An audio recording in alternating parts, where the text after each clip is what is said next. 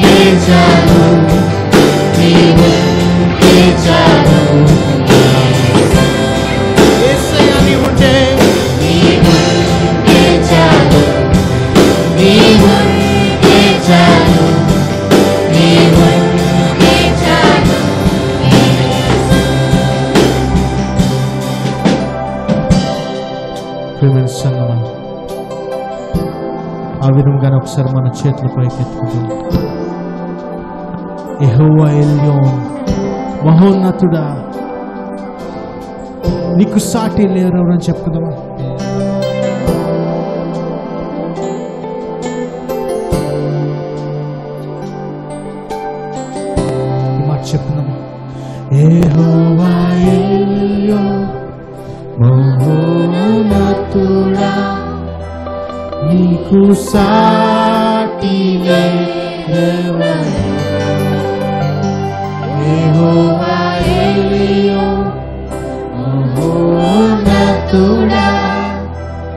suamiku saat ini.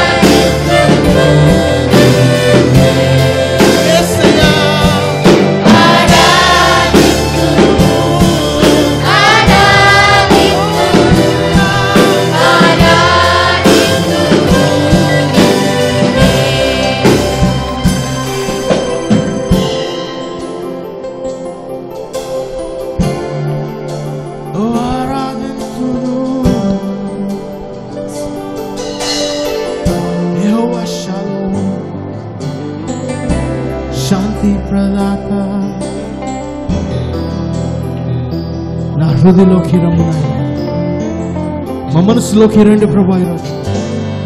ఈ మాట చెప్తున్నామా? మా చేతులు ఎత్తుకుంటాం.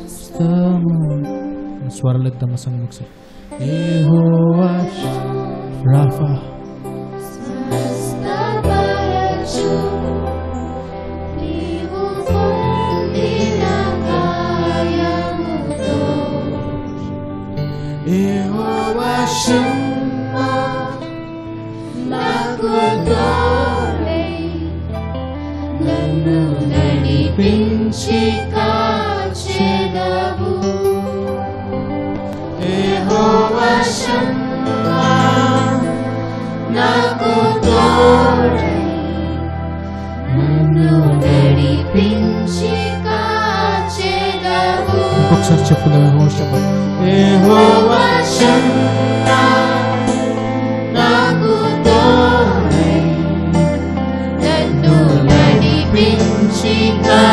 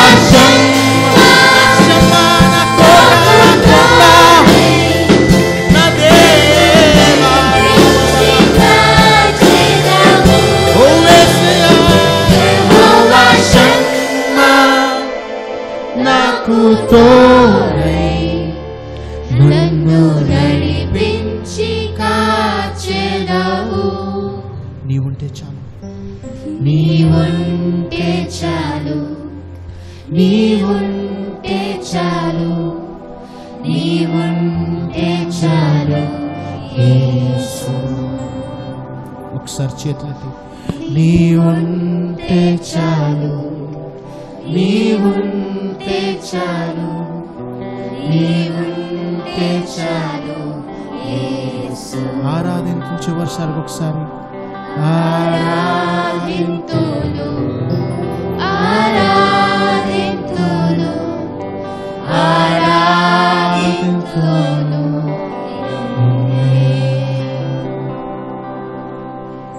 ఎస్యా మీకు వందనాలు చేస్తున్నాను Jehovah Rapha Jehovah Shammah Jehovah Shalom Jehovah Elohim Jehovah Adonai Jehovah Nissi యహోవ రాఫ యహోవ షమ్మ నీకే మా స్తోత్రాలు స్థుతులు చెల్లించుకుంటూ వేస్తున్నాం నడిగి పెట్టుకున్నాం తండ్రి.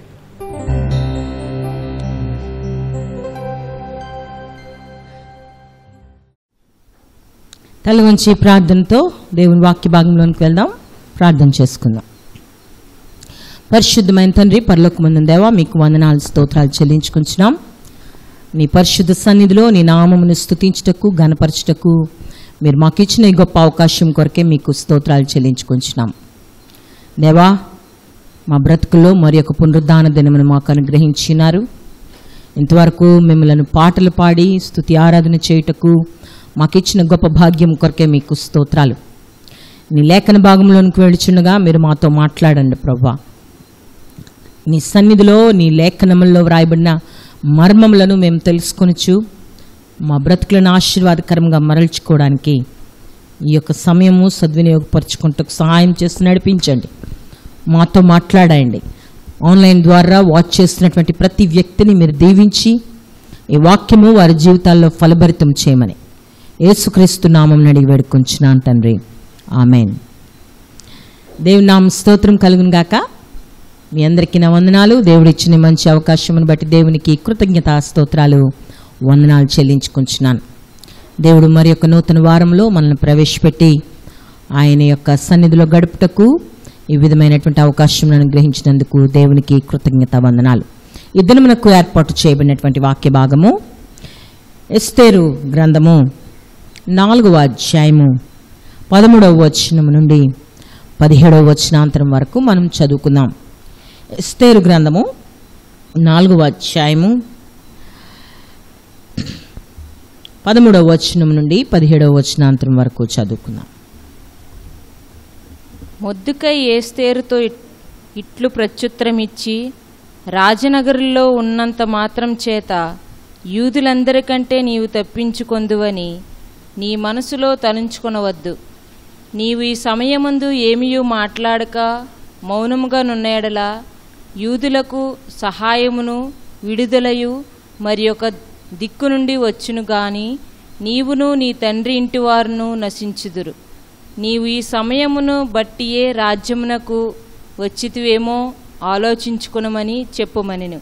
అప్పుడు ఏస్తేరు మొద్దుకైతో మరలా ఇట్లనెను. నీవు పోయి శూషను నందు కనబడిన యూదులందరినీ సమాజ మందిరమునకు సమకూర్చి నా నిమిత్తం ఉపవాసముండి మూడు దినములు అన్నపానములు చేయకుండుడి. నేనును నా పనికత్తెలను కూడా ఉపవాసముందుము. ప్రవేశించుట న్యాయ వ్యతిరిక్తముగా నున్నను నేను రాజునద్దుకు ప్రవేశించుదును. నేను నశించినను నశించెదను అటువలనే మొద్దుకై బయలుదేరి ఏస్తేరు తనకు ఆజ్ఞాపించిన ఎంతటి ప్రకారముగా జరిగించెను. దేర్ పరిశుద్ధ వాక్యం దీవించును గాక ఈ యొక్క వాక్య భాగంలో ఎస్తేరు మొద్దుకాయల యొక్క సంభాషణ వారి యొక్క దేవుని కొరకు వారు తీసుకున్నటువంటి నిర్ణయములు ఈ వాక్య భాగంలో మనం ధ్యానం చేసుకున్నాం. ఆ యొక్క అహశ్వరోషు రాజుకు భార్యగా ఎన్నుకొనబడినటువంటి ఎస్తేరు మనము ఎరిగినటువంటి వారమే. ఆమె ఆ యొక్క యూదుల జాతి నుండి ఆ వంశము నుండి. ఆమె ఎవరికి ఆమె యొక్క జాతిని వంశమును తెలియజేయక మౌనముగా ఉండి రాజు ఎన్నుకున్నప్పుడు ఆమె దయ పొందినదే. ఆ యొక్క వస్తీకి బదులుగా రాజ్ రాజ్యమునకు రాణిగా ఏర్పాటు చేయబడింది. ఏర్పాటు చేయబడిన తరువాత యూదులను హతమార్చుటకు ఆ యొక్క రాజునకు పక్షముగా ఉండి పనిచేయుచునే యూదులకు వ్యతిరేకముగా పనిచేయచ్చు దేవుని నామమును దేవుని ప్రజలను ఉండకుండా ఆ యొక్క హామాను నాశనం చేయుటకు చేయుచున్నటువంటి ప్రయత్నములను అడ్డుకోవడానికి మొద్దుకై ప్రయత్నం చేస్తూ ఉంటున్నాడు. ఈ యొక్క మొద్దుకై దేవుని సన్నిధిలో విజ్ఞాపన చేసి తన ప్రజలను రక్షించుటకు నూట ఇరవై సంస్థానముల్లో ఉన్నటువంటి యూదులందరినీ మరి ఏ విధము చేతనైనా ఒక్కరి ప్రాణం కూడా పోగొట్టకుండా మరి తమ జాతిని తమ వంశమును కాపాడడానికి ప్రయత్నం చేయించినటువంటి పరిస్థితుల్లో ఆ యొక్క సంగతులన్నీ ఎరిగినటువంటి వాడై ఎప్పుడైతే హామాను ఒక కట్టడ లేకపోతే ఒక శాసనము రాజుగారి దగ్గర నుండి తీసుకొచ్చాడు నూట ఇరవై సంస్థానముల్లో ఉన్నటువంటి యూదులందరినీ చంపేయమని రాజు ముద్రతో ఒక ముద్రను పుట్టించి ఒక ఒక శాసనమును పుట్టించి తీసుకుని వచ్చినప్పుడు ఆ సంగతి మొద్దుకేకి తెలిసినప్పుడు నాలుగు వచనం నాలుగో అధ్యాయం మొదటి వచనంలో రాయబడి ఉంటుంది. జరిగినంతయు తెలియగానే మొద్దుకై తన బట్టలు చింపుకొని గోనె బట్టలు వేసుకుని బూడిద పోసుకొని పట్టణమునకు మధ్యకు బయలువెళ్ళి మహాశోకముతో రోదనము చేసి రాజు గుమ్మము ఎదుటకు వచ్చాను.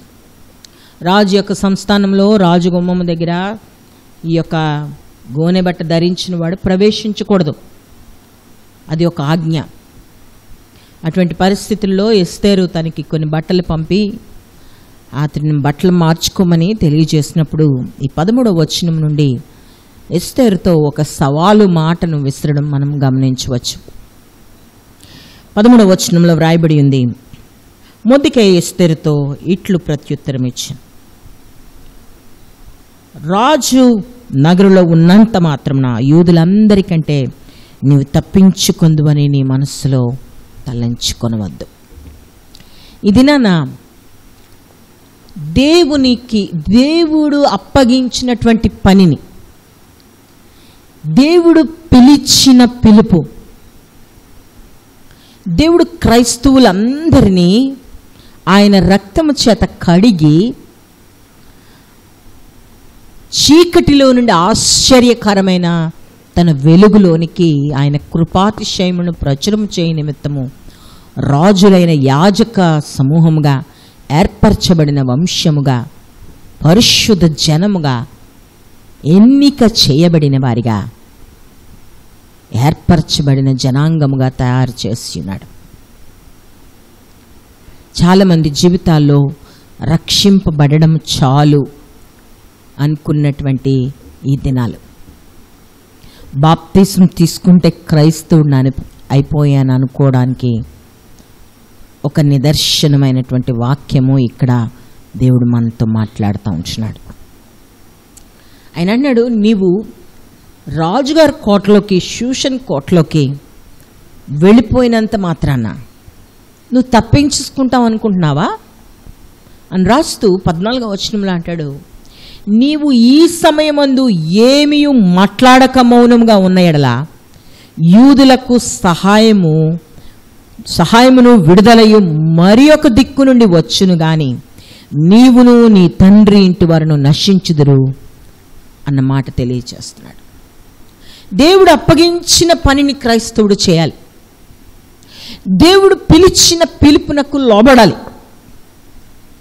దేవుడు నిన్ను ఎందుకు ఎన్నుకున్నాడు? నువ్వు రక్షింపబడినప్పుడు ఒక వాగ్దానముతో నువ్వు రక్షింపబడినప్పుడు యేసు రక్తం చేత కడగబడడానికి నిన్ను నీవు అప్పగించుకున్నప్పుడు మందిరంలో నువ్వు అడుగుపెట్టినప్పుడు యేసు ప్రభు రక్షకునిగా నువ్వు అంగీకరించినప్పుడు నువ్వు ఒక ప్రత్యేకమైన పిలుపుతో ఒక సమర్పణతో నువ్వు దేవుని సన్నిధిలో ప్రవేశించి ఒక ప్రత్యేకమైనటువంటి రోషం కలిగిన వ్యక్తిగా నీవు దేవుని కొరకు నిలవబడిన దినాలు జ్ఞాపకం చేసుకో.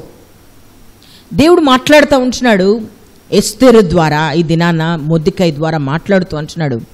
నీవు ఈ సమయమందు ఏమీ మాట్లాడక ఉండిని ఎడల.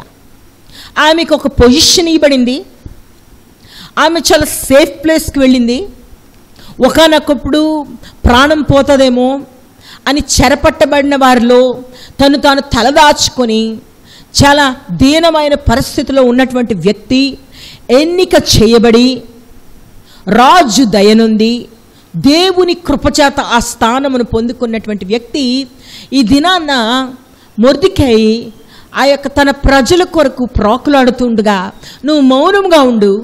నువ్వు ఈ బట్టలు ధరించుకుని రాజుగారి యొక్క కోట ముందు నువ్వు మౌనంగా ఉండు ఈ విధంగా ప్రవర్తించడానికి వీల్లేదని ఆమె బోధిస్తూ ఉంటున్నప్పుడు రోషం కలిగినటువంటి వాడై తన ప్రజల కోరుకున్నటువంటి భారముతో ఆ యొక్క మొద్దుకై మాట్లాడుచున్నటువంటి మాటలు ఇక్కడ జ్ఞాపకం చేసుకుందాం. అన్నాడు ఈ సమయమందు ఏమియూ మాట్లాడక మౌనంగా ఉన్న ఎడల. నువ్వు కాకపోతే దేవుడు మరొకరిని లేపుతాడు.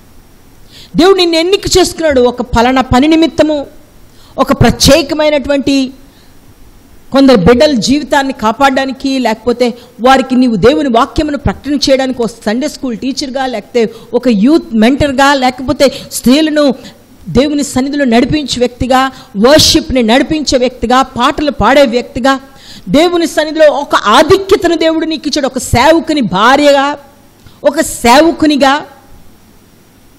ఒక దేవుడు నీవు ఎందుకు పనికిరానటువంటి ప్రాంతంలో ఉన్నప్పుడు దేవుడు నిన్ను ఏర్పాటు చేసుకొని ఒక ప్రత్యేకమైనటువంటి స్థానమును నీకు ఇచ్చి ఉంటున్నాడు. ఇచ్చినప్పుడు ఆ డ్యూటీని జాగ్రత్తగా నెరవేర్చాలి. హలలుయ అందుకే ఇక్కడ అంటున్నాడు మొద్దుకాయ అంటూ అంటున్నాడు నీవు ఈ సమయమందు ఏమీ మాట్లాడక మౌనముగా ఉన్న ఎడల యూదులకు సహాయము విడుదల మరి ఒక్క దిక్కు నుండి వచ్చును. నువ్వు మాట్లాడకపోతే నువ్వు పిలువబడిన పిలుపుకు నీ సేవకురాలుగా ఏర్పాటు చేయబడిన ఏర్పాటుకి. ఈ యొక్క సండే స్కూల్ నడిపించడానికి నువ్వు ఏర్పాటు చేయబడితే యూత్ని నడిపించడానికి నువ్వు ఏర్పాటు చేయబడితే వర్షిప్ నడిపించడానికి ఏర్పాటు చేయబడితే స్వార్థ ప్రకటించడానికి నువ్వు ఏర్పాటు చేయబడితే లేకపోతే స్త్రీలను నడిపించడానికి ఏర్పాటు చేయబడతాయి నువ్వు అనేకులను మెంటర్ చేయడానికి నువ్వు ఏర్పాటు చేయబడితే నీకు అప్పగింపబడిన పనిని నువ్వు నిర్వర్తించాలి. ఒకవేళ నువ్వు నిర్వర్తించకపోతే నీ నీ యొక్క స్థానంలో దేవుడు మరొకరిని పెట్టగలడు. అదే మాట చెప్తున్నాడు. నువ్వు కాకపోతే రక్షణ మరి ఒక ప్రాంతం నుండి వస్తుంది. కానీ అక్కడ అంటున్నాడు నీవు ఈ సమయమును అక్కడ అంటున్నాడు కానీ నీవును నీ తండ్రి ఇంటి వారును నశించుదురు. నువ్వెందుకు పిలిచావో పిలువబడ్డావో? ఆ పిలుపుకు నిలబడాలి. ప్రతిదానికి అర్థములు చూడవసరం లేదు. ప్రతిదానికి దేవుని వాక్కునకు లోబడవలసిన అవసరం ఉంటుంది. హాలలోయ నువ్వు ఊహించిన స్థితికి దేవుడు నిన్ను తీసుకొని వచ్చి ఉంటున్నాడు. అక్కడ వ్రాయబడిన మాట ఏంటంటే పద్నాలుగో వచనం చివరి భాగంలో నీవు ఈ సమని సమయమును బట్టియే రాజ్యమునకు వచ్చితివేమో అని ఆలోచించుకొనమని చెప్పాను. బహుశా వస్తీ లోబడకపోవడం వల్ల రాణిగా ఎస్తేర్ అయ్యిందని జనులు అనుకోవచ్చు. దే ఆ యొక్క ఆమె యొక్క నమ్రత వలన ఆమె ఆ స్థితికి వచ్చిందని చాలామంది అనుకోవచ్చు. ఎస్తర్ కూడా ఆలోచన చేయొచ్చు. నేను లోబడి ఉండుటని బట్టి దీనురాలుగా ఉండుటని బట్టి నాకు ఈ యొక్క అవకాశము దేవుడు ఇచ్చాడని అనుకోవచ్చు. కానీ ఆమె గూర్చి అక్కడ ఒక ప్రవచనమును మాట్లాడుతూ ముద్దుకే చెప్తున్న మాట ఏంటంటే నీవు ఈ సమయమును బట్టియే రాజ్యమునకు వచ్చితివేమో అని ఆలోచించము. నీ రాజ్యం ఏ క్రైసిస్లో ఉందో నీ యొక్క సంఘము నీ కుటుంబం నీ చుట్టుప్రక్కల ఉన్న యవన బిడ్డలు నీ చుట్టుప్రక్కల ఉన్నటువంటి పరిస్థితుల్లో ఏ యొక్క ఏ యొక్క అపవిత్రతలు ఏ బలహీనతలు చోటు చేసుకున్నాయో వాటిని బాగు చేయుటకు నీవు వచ్చి ఉన్నావు అన్న సంగతిని నువ్వు జ్ఞాపకం చేసుకో.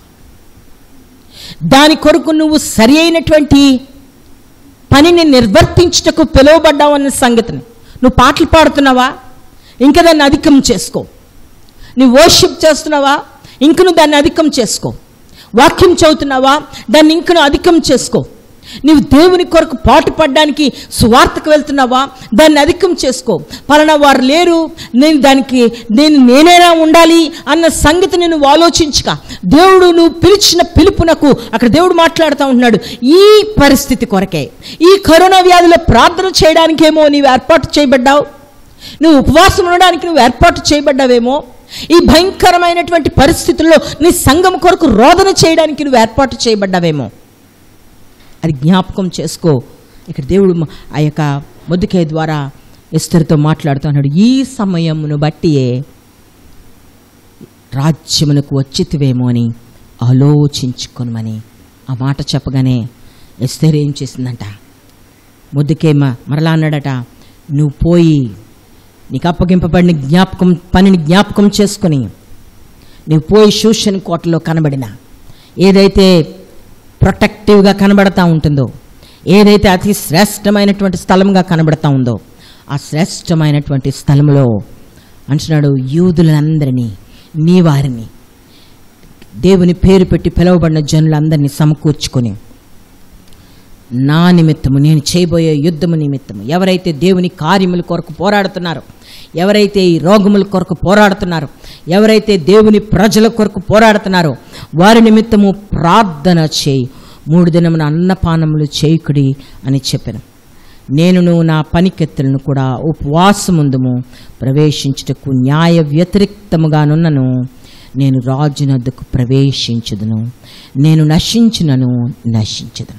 ఈ లేఖన భాగాన్ని ఈ యొక్క ముద్దుకే తీసుకున్న నిర్ణయానికి ఆమె ఎంకరేజ్ చేయబడి ఆమె యొక్క ఒక ప్రత్యేకమైనటువంటి మాటను ప్రకటన చేసి ఉంటుంది.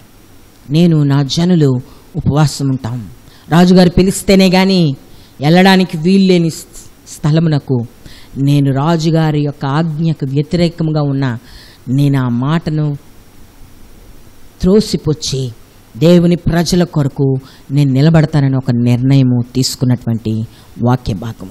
ఈ దినాన్న చాలామంది ప్రజలు వారి పిలువబడిన పిలుపు వారికి ఇవ్వబడిన రక్షణ రక్షణలో వారు తీసుకున్న నిర్ణయములు వివాహములో వారు తీసుకున్నటువంటి నిర్ణయములు ప్రమాణములు దేవుని సన్నిధిలో చేసిన ప్రమాణముల మీద నిలవబడక బ్రతుకులు చిన్నాభిన్నములైపోచినటువంటి పరిస్థితి. నెగ్లెక్టింగ్ గాడ్స్ డ్యూటీ దేవుని పనిని నిర్లక్ష్యము చేయుచున్నటువంటి పరిస్థితులు అనేక మంది ఉంటున్నారు. అదే మాట్లాడుతూ అంటున్నాడు ఈ సమయము కొరకే. నువ్వు అనుకోవచ్చు నేను అక్కడ బో బాగుండేవాడినేమో. నా పరిస్థితి అక్కడ బాగుండునేమో నేను ఇక్కడే ఉంటే ఇంకెలాగుండేవాడినో అని నువ్వు ఆలోచన చేస్తున్నావేమో. ఈ పని నిమిత్తము దేవుడు ఎన్నిక చేసి నిన్ను తీసుకొచ్చాడని. నువ్వెక్కడున్నావో అక్కడ ఆశీర్వాదకరంగా నువ్వెక్కడున్నావో అక్కడ అనేకులకు దేవుని నామమును ప్రకటన చేయడానికి దేవుని సన్నిధిని బలపరచడానికి నువ్వు ఏర్పాటు చేయబడ్డావన్న సంగతిని జ్ఞాపకం చేసుకోవాల్సిన అవసరత ఉంటుంది. చూద్దాం ఒకసారి నెహేమియా గ్రంథంలో తొమ్మిదవ అధ్యాయము ముప్పై ఐదవ వచనమును చదువుకుందాం. నెహమియా గ్రంథము తొమ్మిదవ అధ్యాయము ముప్పై ఐదవ వచ్చిన వారు తమ రాజ్య పరిపాలన కాలమందు నీవు తమ నీవు తమ ఎడల చూపించిన గొప్ప ఉపాకారములను తలంచక నీవు వారికి ఇచ్చిన విస్తారమగు ఫలవంతమైన భూమి అనుభవించిండియు నిన్ను సేవింపకపోయిరి. తమ చెడు నడతలను విడిచి మారు మారు మనసు పొందరైరి. ఇక్కడ భక్తుడైనటువంటి నేమియ మాట్లాడుతూ వ్రాస్తా ఉంటున్నాడు తను దేవుని యొక్క ప్రజలను గురించి మాట్లాడుతూ అన్నాడు. వారు తమ రాజ్య పరిపాలన కాలమందు పితరుల గురించి మాట్లాడుతూ నీవు తమ ఏళ్ళు చూపించిన గొప్ప ఉపకారములను తలంచక చాలామార్లు పిలువబడిన పిలుపు విషయంలో క్రైస్తవులు దేవుడు చేసినటువంటి మేలును దేవుడు చూపించిన కృపలను ఆయన పిలిచిన పిలుపును జ్ఞాపకం చేసుకొనక ప్రవర్తించిన తీరును బట్టి మాట్లాడుతూ ఉంటున్నాడు ఇక్కడ. వారు నీవు వారికి ఇచ్చిన విస్తారమగు ఫలవంతమైన భూమిని అనుభవించి ఉండి దేవుడిచ్చిన ఆశీర్వాదం కావాలి. దేవుడిచ్చిన ఆహారం కావాలి. దేవుడు ఆశీర్దించిన కుటుంబం కావాలి. సమృద్ధి కావాలి. ప్రతినిత్యము సమృద్ధిగా అన్ని విషయాల్లో సంతోషంగా ఉండాలి. కానీ అట వారట దేవుని కార్యములు ఎడల దేవుని ఎడల ఉపకారము తలంచలేదట. నాకు దేవుడు ఎంత మేలు చేశాడు కదా. నేను దేవుని కొరకు నేనేం చేయగలను? అన్న ఒక నిర్ణయం నాకు వారు రాలేదు. అంటున్నాడు నీవు వారికి ఇచ్చిన విస్తారమగు ఫలవంతమైన భూమిని అనుభవించి ఉండియు నిన్ను సేవింపకపోయిరి. దేవుడిచ్చిన భూమిలో ఆ విస్తారమైన ఆహారాన్ని కడుపు నిండా తింటున్నారు. కానీ దేవుణ్ణి సేవించలేదట. తమ చెడు నడతలను విడిచి మారు మనస్సు పొందరైరి. సంగమా దేవుడిచ్చిన ఆశీర్వాదమును నెగ్లెక్ట్ చేయడం దేవుడిచ్చిన పిలుపును నెగ్లెక్ట్ చేయడం గురించి ఇక్కడ నెహమ్య మాట్లాడుతూ ఉంటున్నాడు. అలాగనే మతైసు వార్తలో యేసు ప్రభువారు ఏడవ అధ్యాయం ఇరవై ఆరో వచనంలో ఒక మాటను తెలియచేస్తారు. మతైసు వార్త ఏడవ అధ్యాయము ఇరవై ఆరవ వచనం. మరియు ఈ నా మాటలు విని వాటి చొప్పున చేయని ప్రతివాడు ఇసుక మీద తన ఇల్లు కట్టుకొనిన బుద్ధిహీనును పోలియుండును. ఇక్కడ బండ మీద ఇసుక మీద కట్టిన వాని ఇల్లుని గురించి యేసుప్రభు వారు మాట్లాడుతూ ఇరవై ఆరో వచ్చిన అంటున్నారు ఈ నా మాటలు విని. అనగా దేవుని చిత్తమేంటో తెలుసు దేవుని ఉద్దేశం ఏంటో తెలుసు దేవుని ఇష్టమేంటో తెలుసు దేవుడు ఎక్కడ ఉన్ ఉంచాలని ఆయన ఉద్దేశించి ఉన్నారో ఏ బౌండరీస్ వేశారో ఎక్కడ బౌండరీ దాటకూడదో ఎక్కడ ప్రార్థనాపూర్వకంగా ఉండాలో ఎక్కడ విధేయత చూపించాలో అన్నీ ఎరిగి ఉండి ఏం చేసాడట ఈ నా మాటలు విని వాటి చొప్పున చేయని ప్రతివాడు లోబడని వాడు ఇసుక మీద తన ఇల్లును కట్టిన బుద్ధిహీనుని పోలి. వానలు వచ్చును వానలు కురిసిన వరదలు వచ్చును కానీ గాలి విసిరి ఆ ఇంటి మీద కొట్టినది కూలబడిన అన్నమాట వ్రాయబడింది. అప్పుడు అది కూలబడిను. దాని పాటు గొప్పదని చెప్పాను. దాని పాటు గొప్పది అని మాట్లాడుతూ ఉంటున్నాడు. అదే ఈ యొక్క లేఖన భాగం తెలియచేస్తుంది. చాలా మార్లు దేవుడు పిలిచిన పిలుపునకు లోబడనటువంటి పరిస్థితి. నెగ్లెక్ట్ చేస్తున్నట్టు పర్వాలేదులే. పర్వాలేదులే. ఒక మారట ఒక పెద్ద వరద వచ్చిందంట. ఇందాక మనం ఎస్తేరు గ్రంథంలో చదువుకున్నాం నువ్వు తప్పించుకున్నాను అనుకుంటున్నావేమో నీవు నీవు చేయకపోతే నీవు నిలవబడినటువంటి స్థానంలో నీకు అప్పగించిన పిలుపు విషయంలో నీవు జాగ్రత్తగా నెరవేర్చకపోతే నీవు కాకపోతే మరొకరిని దేవుడు నిలవబెడతాడు. ఆ యొక్క పనిని దేవుడు ఏదో విధంగా కంటిన్యూ చేసిస్తాడు.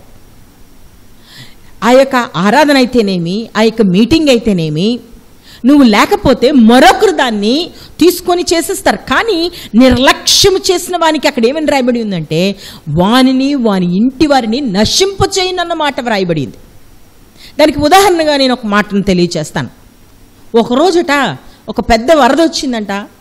వచ్చినప్పుడు భయంకరమైన నీరు కొట్టుకుపోతుందంట. అందులో చాలా పశువులు చచ్చిపోయి కొట్టుకొని పోతున్నాయట. కొన్ని పశువులట భయంకరంగా నీళ్ళు తాగేసి ఊపిరాడక చనిపోవడం వల్ల భయంకరంగా ఉబ్బిపోయి నీళ్ళ మీద తేలియాడి కొట్టుకొని పోతున్నాయట. ఆ యొక్క కొట్టుకొని పోతున్నటువంటి ఆ యొక్క మంచి పెద్ద పశువుని ఒక గ్రద్ద చూచిందట. ఆ గ్రద్ద చూసినప్పుడు ఆ గ్రద్ద ఈరోజు నాకు బాగా ఆహారం దొరికిందే అని సంతోషపడిందంట. సంతోషపడి ఆ యొక్క పశువు మీద వాలిందంట. వాలినప్పుడు చాలా చక్కగా దాని యొక్క ముక్కుతో మాంసం తీసుకొని తింటూ ఉంటుంది. చాలా ఎంజాయ్ చేస్తుంది. ఈరోజు మంచి మీల్ నాకు అనుగ్రహింపబడిందని సంతోషపడతా ఉంటుందంట. సంతోషపడతా ఉంటున్నప్పుడు ఇంతట్లో ఆ యొక్క పశువు ఈ యొక్క ప్రవాహంలో కొద్ది వేగిరమే వెళ్ళడం ప్రారంభించిందంట. ఏంటి ఇంత స్పీడ్గా వెళ్ళిపోతుంది? ఇప్పటి వరకు చక్కగా తేలియాడిందే. ఇంత స్పీడ్గా వెళ్ళిపోతుందని చూసేసరికి ఆ వాటర్ డౌన్లోనికి ఆ యొక్క ఆ యొక్క పల్లంలోనికి ప్రవహిస్తుందంట. పల్లంలోనికి ప్రవహించినప్పుడు ఆ పల్లంలో చూసినప్పుడు ఒక లోయ కనబడిందంట. అమ్మో! ఆ లోయలోనికి వెళ్ళిపోతే ఈ యొక్క నేను తింటా ఉంటే ఈ యొక్క పశువుతో పాటు నేను కూడా పడిపోతాను అనుకుందంట. అనుకుని అనుకుందంట ఆ యొక్క లోయ వచ్చేసరికి నేను ఎగిరిపోతాను అని తినడం ప్రారంభించిందంట. తీక్షణమైన ఎండ కాస్తూ ఉంటుందంట. ఆ ఎండ కాయడం వల్ల ఆ పశువు యొక్క స్కిన్ ముడత పడడం ముడుచుకోవడం ప్రారంభించిందంట. దనుకుంటుందంట అనుకుంటుందంట ఇంత చక్కనైనటువంటి ఆహారం మరలా నాకు ఎన్ని దినాలకు దొరుకుతుందో. నేను దగ్గరలో ఉన్నప్పుడు లేచి వెళ్ళిపోతాను అనుకుందంట. దాని గోర్లు చాలా పెద్దవిగా ఉండడం వల్ల లోపలికంటూ వెళ్ళి అవి జాగ్రత్తగా పట్టుకొని ఆ నీటిలు ఒత్తిడికి పడిపోకుండా జాగ్రత్తగా అదిమి పట్టుకొని ఆ యొక్క మాంసమును ముక్కుతో తీసి తింటా ఉంటుంది. ప్రవహిస్తుంది లెగుద్దాం అనుకుంటుంది. ఇంకా కొంచెం దూరం ఉందిలే ఇంకా కొంచెం దూరం ఉందిలే ఇంకా కొంచెం దూరం ఉందిలే అనుకుంటుంది. అనుకునేసరికి ఇంతట్లో దగ్గరికి వచ్చేసరికి లెగుద్దామని తన యొక్క రెక్కలు చాచినప్పుడు తన యొక్క గోర్లు ఆ యొక్క ఆ యొక్క శరీరంలో ఆ మాంసంలో చిక్కుకుపోయి ఆ యొక్క వేడిమికి ముడత పడుతున్నటువంటి ఆ యొక్క మాంసంలో చిక్కుకుపోయి అది దాని యొక్క కాళ్ళు బయటికి రాలేకపోయాట. అది ఎగరలేకపోయింది. ఆ యొక్క లోయలో ఆ పశువుతో పాటు అది పడిపోయి నశించిపోయింది. నేనెందుకు ఈ ఉదాహరణ చెప్తున్నానంటే దేవుడు మనల్ని అలర్ట్ చేస్తున్నప్పుడు మనము ప్రతిస్పందించాలి. దేవుని వాక్యంలో రాయబడింది నీవు ఆ పనిని అప్పగించిన పనిని చేయకపోతే నీకు బదులుగా మరొకరు అక్కడ నిలబడవచ్చు. కానీ నీ పరిస్థితి ఏంటి? నీ పిలుపునకు ఉద్దేశం ఏంటి నువ్వు పిలువబడినటువంటి పిలుపు నీకు అప్పగింపబడిన బాధ్యత. నిన్ను ఎన్నుకొనినటువంటి విధానమునకు జవాబేంటి? నేను కాకపోతే మరొకరు వెళ్తారని అనుకోవచ్చు. నేను కాకపోతే సండే స్కూల్ మరొకరు తీసుకుంటారని అనుకోవచ్చు. బోల్డ్ మంది ఉన్నారులే వాళ్ళు పాడుతారు అని అనుకోవచ్చు. నీ పిలుపు విషయమైనటువంటి జవాబు దేవునికి నీవేం అప్పగిస్తావు? అక్కడ అంటున్నాడు కదా నీవు నిర్లక్ష్యం చేస్తే నీవు నువ్వు నీ తండ్రి ఇంటి వారు ఒక్కరు కాదు. ఒకరు కాదు. దేవుని మాటకు లోబడి వేష్య అయినటువంటి రాహబు ఆమె ఆమె ఇంటి వారందరూ రక్షింపబడ్డారు. ఇక్కడ మొద్దుకే అంటున్నాడు ఒకవేళ నువ్వు నిర్లక్ష్యం చేస్తే నువ్వు నీ ఇంటి వారందరూ నశిస్తారు. నీవు లోబడితే నీకును నీ ఇంటి వారికి నా ఆశీర్వాదం. నువ్వు నిర్లక్ష్యం చేస్తే నీకును నీ ఇంటి వారికును తీర్పు. శాపము నాశనం. చాలా క్లియర్గా అక్కడ వ్రాస్తూ ఉంటున్నాడు. మతైసు వార్త ఇరవై ఐదో అధ్యాయము ఇరవై ఏడో వచనాన్ని చదువుకుందాం. అట్లయితే నీవు నా సొమ్ము సావుకారుల యొద్ద ఉంచవలసి ఉండెను. నేను వచ్చి వడ్డీతో కూడా నా సొమ్ము తీసుకుంది తీసుకొని ఉందునే అని చెప్పి ఆ తలాంతును వాని యొద్ద నుండి తీసివేసి పది తలాంతులు గలవాని కియ కియ్యుడి. ఇరవై తొమ్మిది చదువుకుందాం. కలిగిన ప్రతివానికి ఇయ్యబడును అతనికి సమృద్ధి కలుగును. లేనివాని యొద్ద నుండి వానికి కలిగినదియు తీసివేయబడును. ఇక్కడ యేసుప్రభు వారు మేనాల గురించి తెలియజేస్తూ తలాంతుల గురించి మాట్లాడుతూ అంటున్నారు ఏంటంటే ఒక వ్యక్తికి ఐదు ఇచ్చారట ఒక వ్యక్తికి రెండు ఇచ్చారట ఒక వ్యక్తికి ఒకటే ఇచ్చారట తలాంతుని ఐదు ఉన్నవాడు ఐదు చేసాడట పది చేసాడట రెండు ఇచ్చినవాడు నాలుగు చేసాడట ఒకటి ఇచ్చినవాడు భూమిలో గొయ్యి తీసి కప్పెట్టాడట అంటే ఇచ్చినటువంటి తలాంతును ఏం చేయాలని దేవుని ఉద్దేశం అంటే దాన్ని డబల్ చేయాలని దేవుని యొక్క ఉద్దేశం అతడు అంటున్నాడు ఏంటంటే నువ్వు విత్తని చోట కోయివాడవు నీ నీవు చల్లని చోట కూర్చుకునివాడు కఠినడువు కదా అందుకే నేను గొయ్యి తీసి కప్పెట్టాను. అని చెప్పి ఆ యొక్క యజమానునికి చెప్పినప్పుడు యజమానుడు ఏమంటున్నాడంటే సోమరివైన చెడ్డదాసుడ ఒక దేవుని యొక్క తలాంతు ఒక రక్షింపబడిన వ్యక్తికి పిలుపు అనగా రక్షింపబడిన ప్రతి వ్యక్తికి దేవుడు తలాంతుని ఉన్నాడు ఆయన అతని పిలుపులో దేవుడు ఒక బాధ్యతని ఇస్తాడు. యేసుప్రభువారు అంటారు కదా ఆయన ఎత్తబడుతూ మతస్వార్త ఇరవై ఎనిమిదో అధ్యాయంలో మీరు సమస్త సర్వలోకమునకు వెళ్ళి సమస్త జనులను శిష్యులుగా చేయడి. అనగా ప్రతి ఒక్కరికి ఆ బాధ్యత ఇవ్వబడింది. నువ్వు ఏ తలాంతు లేకపోతే అట్లీస్ట్ దేవుని స్వార్థనన్నా నువ్వు ప్రకటన చేయాలి. ఇక్కడ అన్నారు ఆ దాసుడు ఏం చేసాడట భూమిలో తీసి దాసాడట అందుకే ఇరవై ఏడో వచ్చిన అంటూ అట్లయితే నీవు నా సొమ్ము సాహుకారుల యొద్ద ఉంచు ఉంచవచ్చు కదా? నేను వచ్చి వడ్డీతో తీసుకుంటాను కదా? ఎవరైతే దానిని డబ్బులు చేస్తారో వారికి ఇవ్వచ్చు కదా? నువ్వెందుకు దాన్ని దాచిపెట్టావు?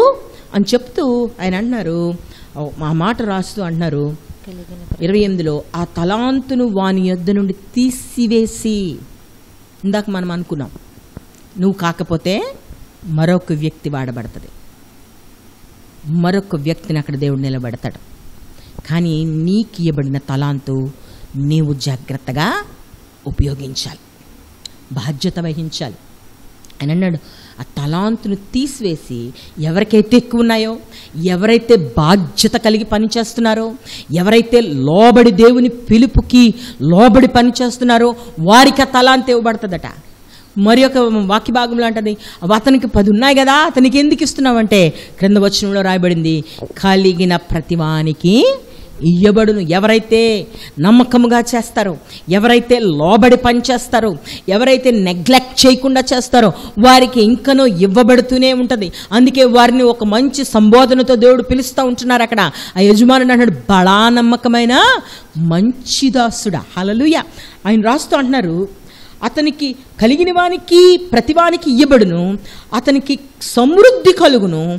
లేని వాని యొద్ద నుండి కలిగినదియో. ఎవరైతే ఇంట్రెస్ట్ చూపించలేదో ఎవరైతే దేవుని ఎడల నిర్లక్ష్యము కలిగి ఉన్నారో ఎవరైతే ఇష్టం వచ్చినట్టు ప్రవర్తించడానికి తమను తాము అప్పగించుకుంటున్నారో వారికి కలిగినది తీసివేయబడును. జాగ్రత్త. డోంట్ నెగ్లెక్ట్ గాడ్స్ డ్యూటీ దేవునికి దేవుడు నీకు ఇచ్చిన ఆధిక్యతను దేవుని కొరకు నీ సమయమును ఉపయోగించాల్సినటువంటి అవసరత ఉంటుంది. లూకసు వార్త పన్నెండవ అధ్యాయం నలభై ఏడవ వచనాన్ని మనం చదువుదాం. లూకసు వార్త పన్నెండవ అధ్యాయం నలభై ఏడవ వచనం. తమ యజమానుని చిత్తమెరిగిండియు సిద్ధపడక అతని చిత్తం చొప్పున జరిపి జరిగింపక ఉండు దాసునికి అనేకమైన దెబ్బలు తగులును. చూసారండి తన యజమానుని చిత్తమెరిగియుండి ఎందుకొరకు పిలువబడిందో చాలా జాగ్రత్తగా మొద్దికే ఆమెకి బ్రెయిన్ వాష్ చేసి ఆ స్థలానికి పంపించి ఉంటున్నాడు. తన ప్రజలను రక్షించుటకు. నూట ఇరవై సంస్థానంలో చిక్కుకుపోయినటువంటి యూదులను కాపాడడానికి ఆ ప్రాంతమునకు వచ్చి ఉన్నదని ఎస్తేరుకు తెలుసు. కానీ ఆమె ఆ పరిస్థితులను చూచి ఆమె మాటలలో తడబాటు. భయపడతా ఉంటుంది. కాంప్రమైజ్ అయిపోవడానికి ప్రారంభమైంది. ఆయన అంటున్నారు తన యజమానుని చిత్తము ఎరిగి ఉండియు నువ్వెందుకు పిలువబడ్డావో ఎరిగి ఉండియు నీ పిలిపేంటో నీకు తెలిసి ఉండియు నీవు దేని కొరకు రక్షింపబడ్డావో ఎంత అగాధ స్థలముల్లో నుండి నువ్వు పిలువబడ్డావో ఎంత అపవిత్రమైన పాపములో నుండి నువ్వు పిలువబడ్డావో ఎంత భయంకరమైనటువంటి చీకటిలో నుండి దేవుడు నిన్ను వేరు చేసినాడో ఆ యొక్క సంగతులను జ్ఞాపకం చేసుకొని కృతజ్ఞత కలిగి ఆయన చిత్తమెరిగియుండి సిద్ధపడకపోతే దేవుని వాక్యంలో రాయబడింది అతని చిత్తము చొప్పున జరిగింపక ఉండు దాసునికి అనేకమైన దెబ్బలు తగులును. దేవుని వాక్యము సూటిగా ఈ దినాన్న మాట్లాడుతూ ఉంటుంది. ఏ ప్రాంతంలో మనం నిర్లక్ష్యం చేస్తున్నాం. మన రక్షణను నిర్లక్ష్యం చేస్తున్నాం. ఏ ప్రాంతంలో మన పిలుపును నిర్లక్ష్యం చేస్తున్నాం? ఏ ప్రాంతంలో మనము వట్టివారిగా మిగిలిపోయాం? చేతకాని వారిగా ఉండిపోతూ ఉంటున్నాం. దేవుడు చాలా స్పష్టంగా మాట్లాడుతూ ఉంటున్నాడు. చూడండి యాకోబ్ పత్రికలో ఒక మాట వ్రాయబడింది. రెండవ అధ్యాయము పద్నాలుగో వచనం. యాకోబ్ పత్రిక రెండవ అధ్యాయము పద్నాలుగో వచనం. నా సహోదరులారా క్రియలు లేనప్పుడు ఎవడైనను తనకు విశ్వాసం కలదని చెప్పిన ఎడల ఏమి ప్రయోజనము? అట్టి విశ్వాసం అతని రక్షింపగలదా? పదిహేడవ వచనం కూడా చదువుదాం. అలాగే విశ్వాసము క్రియలు లేనిదైతే అది ఒంటిగా ఉండి మృతమైన దగును ఇక్కడ క్రియలు ఉండాలి. పిలువబడిన వాడు దేవుని క్రియ చేయాలి. నువ్వు విశ్వాసంతో ఆయన నమ్మితే నీ క్రి- నీ విశ్వాసంలో క్రియ కనబడాలి. అదే దేవుని కొరకు చేసే పని. అక్కడ అన్నారు కదా క్రియలు లేనప్పుడు ఎవడైనా తనకు విశ్వాసం కలదని చెప్పిన ఎడ్ల ఏమి ప్రయోజనము? పిలవబడినవాడు దేవుని కొరకు దేవుని ఉద్దేశములు చొప్పున పిలవబడినవాడు దేవుని కొరకు పని చేయకపోతే ఎందుకు? అంత గొప్ప ఆశీర్వాదమును అనుభవించి శోషణ కోటలోనికి ఎస్తేరు ప్రవేశించిన తరువాత ఆమె తన జనులను కాపాడుకోపోతే ఆమె అక్కడ ఉండి ఎందుకు? నీవు రక్షింపబడి చీకటిలో నుండి ఆశ్చర్యకరమైన వెలుగులోనికి వచ్చి నీ జనుల ఎడల నీకు వచ్చిన విడుదల విషయమై నువ్వు కోరిక కలిగి ఉండకపోతే నీ పిలుపు ఎందుకు? అది మృతము అంటున్నాడు. ఆ విశ్వాసము మృతము. దేవుడిచ్చినటువంటి ఆ యొక్క ఆధిక్యతను సద్వినియోగపరచుకోవాలి. పిలిచిన పిలుపునకు తగినట్టుగా జీవించాలి. నేను ఉదాహరణకు ఒక మంచి మాటను తెలియజేయాలని ఆశపడుతున్నాను. న్యాయాధిపతుల గ్రంథంలో ఒక ప్రత్యేకమైనటువంటి ఊరు వారు ఉన్నారు. ఐదవ అధ్యాయం ఇరవై మూడవ వచనంలో.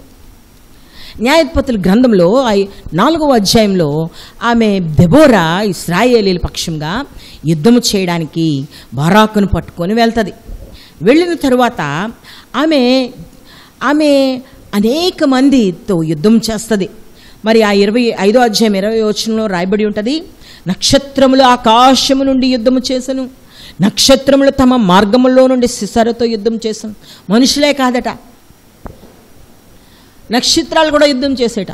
దేవుని సైన్యం వచ్చి ఆ దినాన్న దేవుని సేవకులు సమర్పించుకున్నటువంటి సమర్పణను బట్టి యుద్ధం చేసేయట. అయితే ఇరవై మూడో వచనంకి వచ్చేసరికి యహోవ దూత ఇట్లనను. యెహోవా దూత ఇట్లనెను మెరోజును శపించుడి దాని నివాసుల మీద మహాశాపం నిలుపుడి. యెహోవా సహాయమునకు వారు రాలేదు బలిష్ఠులతో కూడి యెహోవా సహాయమునకు వారు రాలేదు. ఈ యొక్క వాక్యాన్ని జాగ్రత్తగా ఆలోచన చేస్తే వీరట ఇస్రాయేలీలు చుట్టుపక్కల ప్రాంతముల వారందరూ ఇస్రాయేలీలకి సహాయకరంగా దినాన్ని యుద్ధం చేయడానికి మీకు బాగా అర్థమవ్వాలంటే న్యాయాధిపతుల గ్రంథం నాలుగవ అధ్యాయం చదివితే ఆ యొక్క వాక్య భాగం గురించి అర్థమవుతుంది. దానిని గూర్చి జాగ్రత్తగా ఒక కీర్తన ఎత్తి దెబోరా పాట పాడుతుంది. ఏ విధంగా జయించి ఉంటున్నారు. జయించినటువంటి విధానమును జ్ఞాపకం చేసుకుంటూ పాట పాడుతూ మేరోజుని గురించి మాట్లాడుతూ ఉంటుంది. మేరోజు అనే ఊరట వారిని శపించుడి అనే ప్రాంతం వారిని శపించుడి అని మాట్లాడుతుంది. ఎందుకంటే దాని నివాసుల మీద పా- మహాశాపము నిలుపుడి. ఎందుకు అని అంటే యహోవా సహాయమునకు వారు రాలేదు. They did not come to help the lord వారు యహోవాకు సహాయం చేయడానికి రాలేదు దేవుడే తన దూతలను పంపించడట. దేవుడే తన సైన్యాన్ని పంపించడట. వారేమో వీరేమో పదివేల మందితో వెళ్ళారట ఆయనేమో లక్ష మందితో వచ్చాడట సిసెరా. ఈ పదివేల మంది వెళ్ళి సిసెరాను నాశనం చేశారు. అతడు తొమ్మిది వందల ఇనుపు రథములతో వచ్చాడట. ఇస్రాయేల్ పదివేలు మంది మాత్రమే వెళ్ళి అతనిని జయించగలిగారు. మనుషులకి అది సాధ్యం అంటే దేవుని సైన్యం అక్కడ దిగింది. దేవుని సైన్యం కూడా వారి ప్రార్థనని విని దిగితే ఆ ప్రక్కన ఉన్నటువంటి మేరోజు అనే ఊరి వారట ఇంట్లోని బిర్యానీలు వండుకొని చక్కగా కోడిమాంసం వండుకొని కూర్చొని తినుకొని వారట ఎంజాయ్ చేస్తున్నారు. దేవుని వాక్యంలో రాయబడింది మే రోజుని శపించుడి. దాని నివాసుల మీద మహాశాపము నిలుపుడి. ఎందుకంటే యహోవా సహాయమునకు వారు రాలేదు. బలిష్ఠులతో కూడి దేవుని ప్రజలు దేవుని సైన్యము దేవుని దూతలు వచ్చి ఆ యొక్క యుద్ధం చేస్తూ ఉంటే వారట సహాయమునకు రాలేదు అంటున్నాడు. వారు they did not come to the help the lord against the mighty warriors ఆ యొక్క బలిష్ఠులైనతో యుద్ధము చేయడానికి వారు రాలేదంటున్నాడు వారట సమయాన్ని వృధాపరిచి ఉంటున్నారు నిర్లక్ష్యము చేసి ఉంటున్నారు. వారితో మాట్లాడుతూ అంటున్నాడు వారిని శపించుడి. వారు ఏం చేస్తారట? నిర్లక్ష్యం చేశారు పక్కనే యుద్ధం జరుగుతుంది పక్కనే ప్రార్థనలు జరుగుతున్నాయి పక్కనే దేవుని యొక్క సన్నిధి జరుగుతూ ఉంటుంది. దేవుని సేవకులు యూట్యూబ్లో దేవుని వాక్యం చెప్తా ఉంటే కొందరు ఫోనుల్లో ఉంటారు కానీ దేవుని వాక్యాన్ని చూడరు. చాలామంది బిజీ దేవుని వాక్యము బోధింపబడి సంఘానం అంతటికి ఒక అనౌన్స్మెంట్ ఒక మెసేజ్ వెళ్తుంది. ఈ సాయంకాలం శుక్రవారం ఏడు గంటలకి ప్రార్థన. యూట్యూబ్లో వాక్యం వస్తుంది. ఎందుకంటే మందిరంలో మనం కలుసుకోలేకపోతున్నాం. ఆదివారం పది గంటలకి దేవుని వాక్యం వస్తుంది. But they are busy with their own works లక్షవారం స్త్రీలకు కాన్ఫరెన్స్ కాల్ ఉంది. శుక్రవారము పదకొండు గంటలకి సంఘం అంతటికి పురుషులకు స్త్రీలకు కాన్ఫరెన్స్ కాల్ ఉంది. No one is interested busy with their own works మే రోజు వారు వారి యొక్క సొంత పనులతో వారు చాలా బిజీగా ఉన్నారు. కానీ ఎవరు చూస్తున్నారట? దేవుడు చూస్తున్నాడు. దేవుని దూత అంటుంది అక్కడ క్లియర్గా రాయబడి ఉంది. యహోవా దూత ఇట్లనెను. యహోవా దూత ఇట్లనెను. మీ రోజును శపించుడి మీ రోజును శపించుడి దాని నివాసుల మీద శాపము నిలుపుడు. ఎందుకంటే యహోవాకు సహాయము చేయుటకు వారు దేవుని సన్నిధి జరుగుతుంటే అక్కడ దేవుడు ఉంటాడు జాగ్రత్త. బెతస్త సంగమా నీతో దేవుడు మాట్లాడుతూ ఉంటున్నాడు. ప్రార్థనలు జరుగుతున్నప్పుడు ఎక్కడుంటున్నావు నువ్వు? కాన్ఫరెన్స్ కాల్స్ జరుగుతున్నప్పుడు నువ్వు ఎక్కడుంటున్నావు నువ్వెందుకు నేను ఉన్నానని ప్రార్థన చేయడానికి నీ పేరుని ఇవ్వలేకపోతా ఉంటున్నావు. యూట్యూబ్లో నీకు వాక్యం వచ్చినప్పుడు నీ దగ్గర స్మార్ట్ ఫోన్ ఉన్న దేవుని వాక్యాన్ని నువ్వెందుకు చూడలేకపోతున్నావు? నిర్లక్ష్యం. యహోవా సైన్యము అక్కడ ఉంది నువ్వు వారితో పాటు ఉండడానికి ఇష్టపడలేదు జాగ్రత్త. ఇది నాన్న దేవుడు స్పష్టంగా మాట్లాడుతుంది. ఎప్పుడైతే ఎస్టేరు ఆమె నిర్ణయం తీసుకుందో పదహార వచనం మనం చదువుదాం. నాలుగవ అధ్యాయము పదహార వచనం. ఎస్తేరు గ్రంథం నాలుగవ అధ్యాయం పదహారవ వచనం చదువుదాం.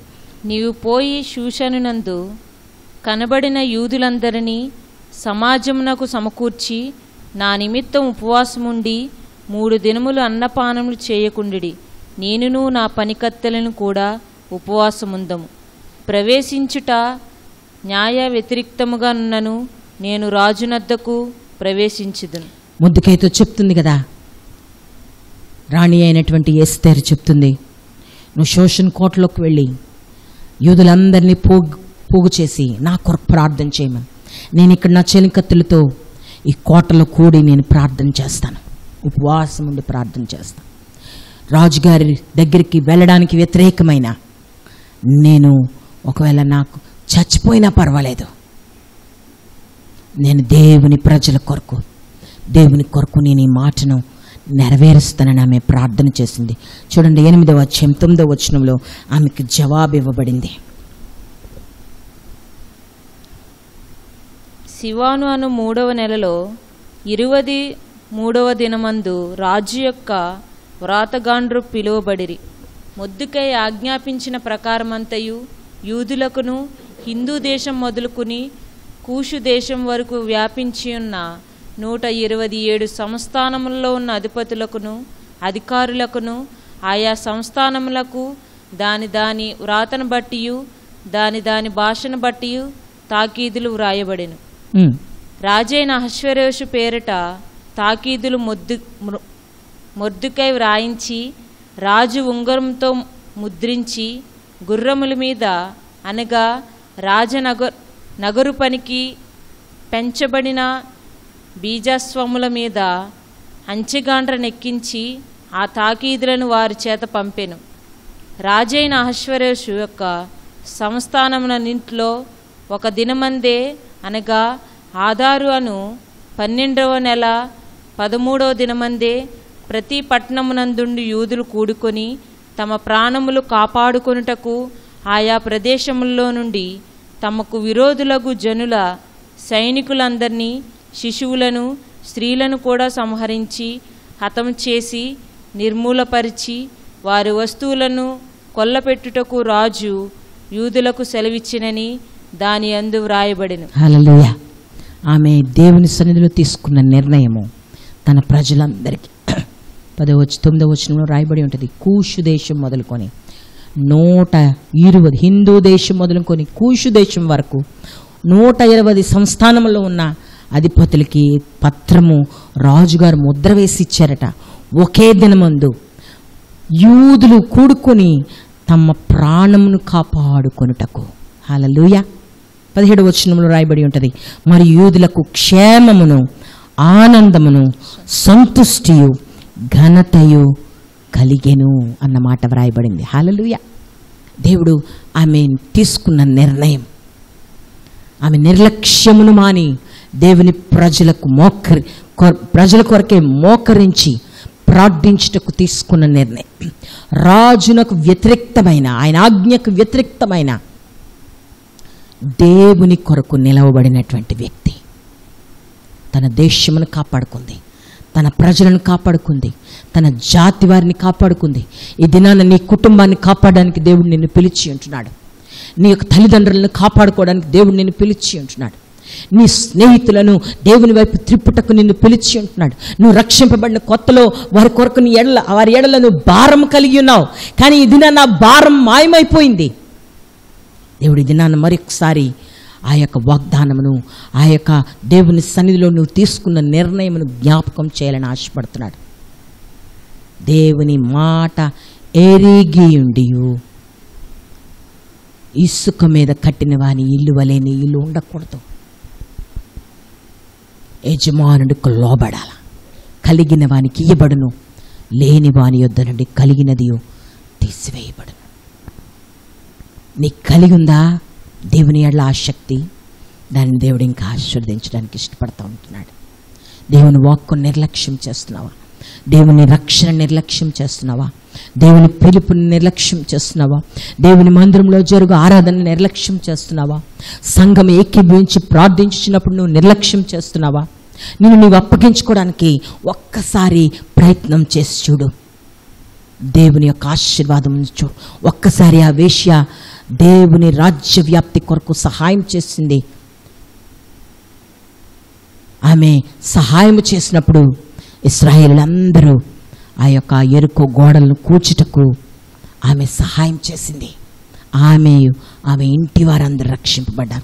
దేవుని మాటకు లోబడినప్పుడు నీకే కాదు రక్షణ నీకే కాదు ఆశీర్వాదం నీకును నీ ఇంటి వారికును ఆశీర్వాదం దాగి ఉంది.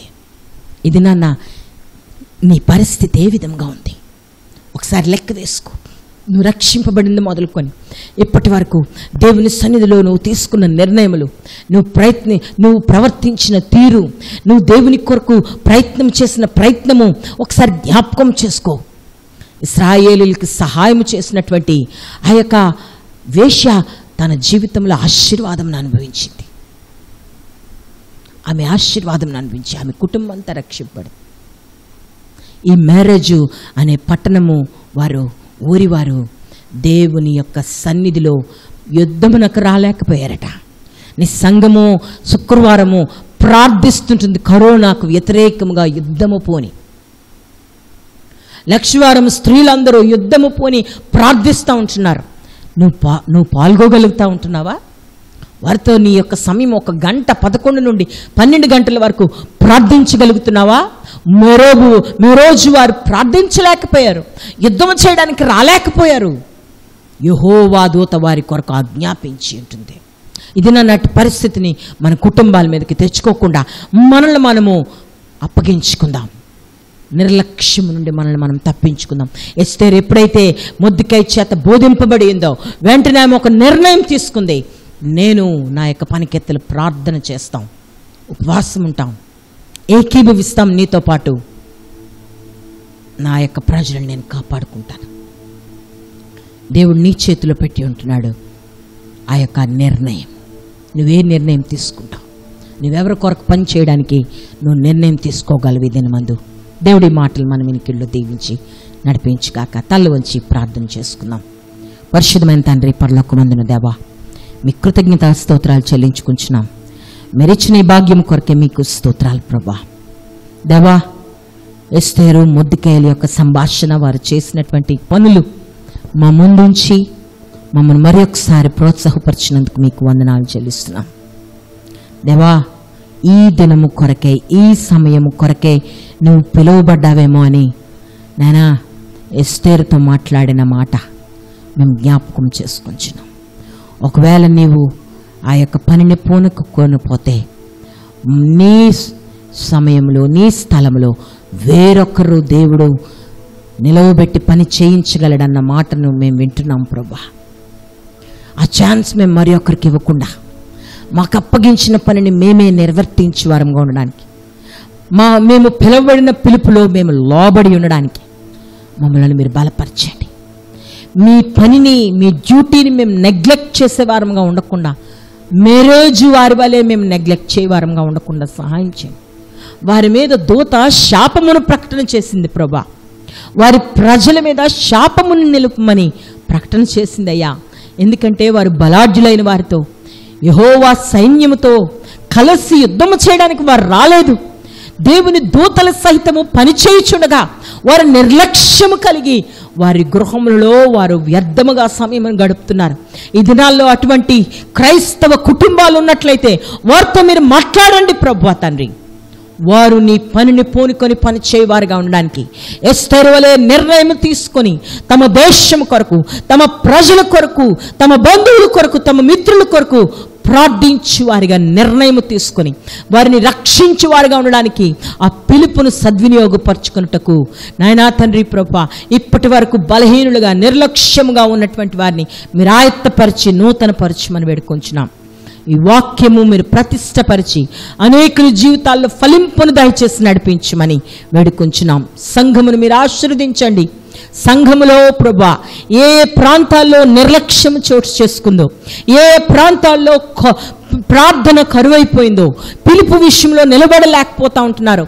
నాయన రక్షింపబడినటువంటి దినాల్లో నీ సన్నిధిలో తీసుకున్న నిర్ణయం మీద నిలబడలేకపోతున్నారు. ఆ ప్రాంతాల్లో మరొకసారి నూతనపరచండి ప్రభా. ఎస్తేరు వంటి నిర్ణయం తీసుకొని తన జనుల కొరకు రక్షణ కొరకు నువ్వు అప్పగించిన పనిని నిర్వర్తించి వారుగా ఉండడానికి మరి ఒకసారి నూతన పరిచయమని వేడుకొంచున్నాను. దేవా సంఘ కుటుంబాలను మీరు ఆస్వాదించండి బలహీనులను అనారోగ్యస్తులను తండ్రి మీరు జ్ఞాపకం చేసుకుని లాక్డౌన్ వేళలో ఎవరైతే ప్రభా తండ్రి నాయన నాయన తండ్రి ప్రభు ఆర్థికమైనటువంటి నాయన వేదన ప్రభు తండ్రి ఆర్థికంగా ప్రభు నాయన పరిస్థితులు ప్రభు తండ్రి బలహీనంగా ఉంటున్నాయో వారిని బలపరచండి తండ్రి. ఎవరైతే అనారోగ్య పరిస్థితుల్లో ఉన్నారో వారిని స్వస్థపరచండి. నీ వాక్యము చేత మరొకసారి నింపండి. మా చిన్న బిడ్డలను యవ్వన బిడ్డలను స్త్రీలను పురుషులను వృద్ధులను పెద్దలను మీరు జ్ఞాపకం చేసుకునండి తండ్రి. బెతస్త కుటుంబాలను మీరు ఆశీర్వదించండి. సంఘాలను మీరు దీవించమని వేడుకుంటున్నాను దేవా ప్రభా తండ్రి మా దేశమునకు మా నా తండ్రి ప్రపంచ దేశములకు రాష్ట్రమునకు మా పట్టణమునకు స్వస్థత దయచేయమని వేడుకుంటున్నాం తండ్రి. విడుదల దయచేయండి ప్రభా తండ్రి. నీ యొక్క స్వస్థత ప్రభావము ప్రజల మీద ప్రభా తండ్రి నాయన సంపూర్తిగా ఆవరించబడునుగా కానీ పలుకుచున్నాం తండ్రి. మీ యొక్క వాక్కును ఆన్లైన్ ద్వారా వినిచిన ప్రతి ఒక్కరిని నూతనపరిచి ఆశీర్వదించండి. మీరే మహిమ ఘనత ప్రభావం పొందుకునమని నా జరడని యేసుక్రీస్తున్నామని అడిగి వేడుకొంచున్నాం తండ్రి. ఆమెన్. మందున మా తండ్రి నీ నామము పరిశుద్ధపరచబడును గాక మీ రాజ్యం వచ్చుగాక మీ చిత్తం పరలోకమందు నెరవేర్చబడినట్లు భూమి మీద నెరవేరును గాక మాకు కావలసిన దినాహారమును మాకు దయచేయండి. మరణోస్తులు మేము క్షమించిన ప్రకారం అపరాధము క్షమించము మమ్మ శోధన తేక కీడు నుండి తప్పించు ఎందుకంటే రాజ్యము బలము మహిమ నిరంతరము నీవైనావు తండ్రి ఆమె తొట్టిల్లకుండా మళ్ళీ కాపాటకు మన తండ్రి అయిన దేవుని ప్రేమ కుమారుడైన యస్సు క్రీస్తు కృప పరిశుధాత్మ యొక్క నిత్య సహవాసం ఇక్కడ చేరిన మనకు సంఘం అంతటికి ఆన్లైన్లో వాచ్ చేయించినటువంటి ప్రతి వ్యక్తికి స్నేహితులకు బంధువులకు క్రైస్తవ సంఘమంతటికి పరిశుద్ధులకు ఇప్పుడు ఎల్లప్పుడు తోడైండి. ఆయన కొరకు పని చేయుటకు నడుము బిగించుకొని ఆయన పనిలో నిమగ్నమైన వారుగా ఉండినట్లు సహాయం చేసి నడిపించునుగాక. ఆమెన్.